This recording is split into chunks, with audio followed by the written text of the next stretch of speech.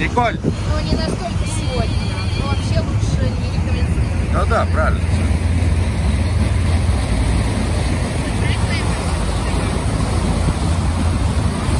А ты выборку сделаешь что нормально и как отправить?